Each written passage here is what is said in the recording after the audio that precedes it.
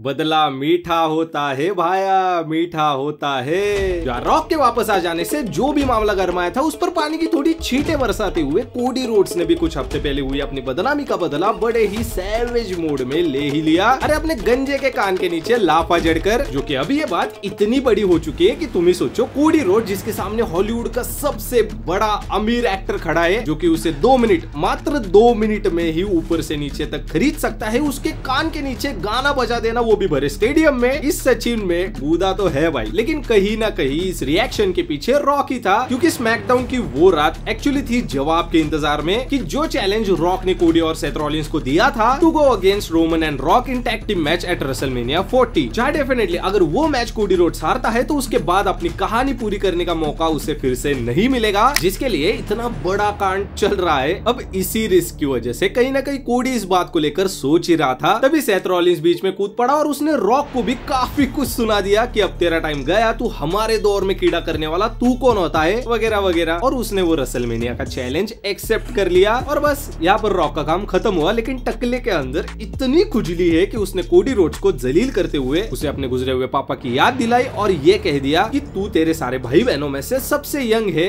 क्योंकि तू एक गलती है। एंड दैट्स इट बाई ट्रिगर कर रहा था, सामने वाला ट्रिगर हो गया और उसने खींच दिया इसकी माँ का कान के नीचे। एपिसोड फिनिश जा देखो। भले स्क्रिप्ट की डिमांड है कि रॉक रसलमेनिया को ऊपर उठाए, जिसके लिए उसका ये एंटी हीरो अवतार with brand new badass entry which is looks absolutely टौका मतलब वो ऐसा ब्लैक एडम की तरफ़ बिजली बिजली चमका। लेकिन कहीं ना कहीं बुरा तो तब लगेगा जब इस गंजे की वजह से कोडी और उसके पापा का सपना सपना ही रह जाएगा।